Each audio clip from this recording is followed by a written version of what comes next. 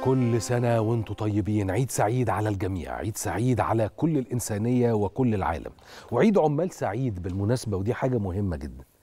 آه الناس اللي زي حالاتي آه اللي هم بيبقوا حادفين يسار ما بحبش أنا كلمة حادفين شمال دي لأنه اسمها وسمعتها وترديدها العام مش لطيف. اللي حادفين يسار حبتين أو الماركسيين اللي زي حالاتي بيبقوا ناس دايما طول الوقت نظن يعني ونتمنى إن إحنا يكون ظننا صحيح وتبقى انحيازاتنا كاملة. مش هقول لك حقيقية إحنا في ظننا إنها حقيقية بس تبقى كاملة يعني وملموسة.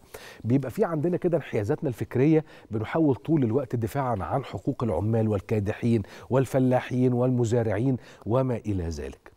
ويمكن المذيع بشكل شخصي طول الوقت بيبص على ما قد تطلق عليه القضية دي بشكل مركز جدا وعن قرب وعن كثب زي ما بيتقال كده في نشرات الأخبار اللي بيقدموها زمايلي الأعزاء المحترمين. بستاء قوي قوي لما بنلاقي إنه في ناس للأسف الشديد لما بتيجي تتكلم تيجي يقول لك إيه مثلا إيه؟ وأين الدولة من الكادحين والعمال والفلاحين والمزارعين؟ هو السؤال في حد ذاته إن كان سؤالا ما فيهوش الاستنكار أنا أقدر أفهمه لأنه من حقك دايما إن أنت تسأل. ومن حق الطبقات كلها إنها طول الوقت بتنادق بتناضل علشان حقوقها. وأظن إنه دايما بيجي على رأس الحقوق هي حقوقنا المالية والاقتصادية ده طبيعي. أمال إحنا هنفتح البيوت منين يعني آه سيبك مننا إحنا إحنا الطبقات المتوسطة أو بيسموها كده الاستراتيجيه البرجوازية العليا اذا صح التعبير في بعض الاحوال يعني. لكن العمال العمال اللي هم بيشتغلوا بإيديهم اللي بيكسب لقمة عيشه بالمعنى الحرفي من عرق جبينه إحنا الناس اللي قاعدة في المكاتب الناس اللي قاعدة في التكييف قاعدين على ترابيزات شياكة. لكن في زي زمايلي اللي موجودين هنا الأسطوات العشرة على عشرة اللي الشغلانة بتقطم ظهره بالمعنى الحقيقي. اللي تلاقيه واقف على سلم واللي تلاقيه مش عارف بيعمل إيه وبيسوي إيه اللي بتلاقي عرقه مالي وشه. آه نقدر نستثني مديرين التصوير دول برجوازية عليا زي حالاتي كده. وإن كان في بعضهم بيشتغل على الكرين زي سامح صيام ده بيتطلب عضلات بس يعني معلش برضه. زمايلي التانيين الحقيقة أولى بهذا الذكر. زي إخواننا العمال اللي موجودين جوه المصانع وإخواننا المزارعين والفلاحين اللي موجودين جوه الحقول والأراضي المختلفة. لكن باعتبارنا إن إحنا بنتكلم عن عيد العمال بالمعنى الحرفي لكلمة عيد عمال واللي نشأ وظهر في العالم باعتباره للطبقة الكادحة رمز العامل اللي لابس الأفرول وماسك في إيده المفتاح الإنجليزي وما إلى ذلك بتطوراته فيما بعد من أدوات قد تكون متطورة كتير. هذه الانحيازات غابت عن بلدنا أنا أظن حوالي أربعين سنة. هتيجي تقول لي بس دايما كان في المنحة يا ريس؟ هقول لك كل ده كان جميل بس ده كان فتات بيجرى وقتها.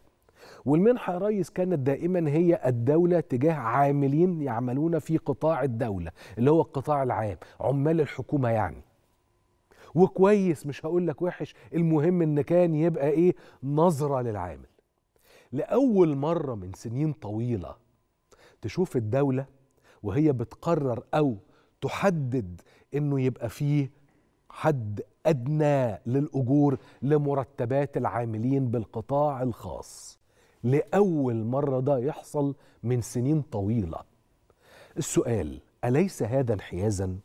في ناس فرحت جدا بمسألة حديث الرئيس حول الحوار السياسي الموسع والمفتوح وإعادة تشكيل لجنة العفو وده شيء رائع وتقدر تسميها فكرة الانفراجات الفكرية والسياسية. أهم حاجة أنه الأطراف الأخرى يعني الدولة تدعو إلى ذلك فالأطراف الأخرى من المعارضة تستوعب هذا العرض بمنتهى الحكمة والذكاء. لازم تستوعب ده بحكمة وبذكاء. بس أنا أشوف أنه ما يحدث في انحيازات أو من انحيازات للعامل وبالذات بتوع القطاع الخاص لأن القطاع الخاص دول دايما يا عيني مضغوطين.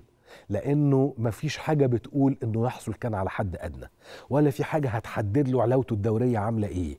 واظن بيبقى حدها تقريبا 3 أو 4% ده الحد بتاع الحد الأدنى. فممكن يبقى صاحب الاستثمار يقرر إنه 3% وكل سنة وأنتم طيبين واللي مش عاجبه يسيب الشغل ويمشي. عارفين كده طريقة الراسماليه المتوحشة؟ أنا أستثني من ذلك بالكتير بالكتير. 10 15 مستثمر ضخم أو المليارديرات الكبار اللي بيتحكموا يعني في جانب كبير من الاقتصاد الخاص في مصر وكويس الاقتصاد القطاع الخاص أهلا وسهلا مش مختلفين بس نظرة يا مؤمنين نظرة للعامل مش بس في عيد العمال علشان المناسبة. رئيس الدولة ينظر إلى عمال مصر.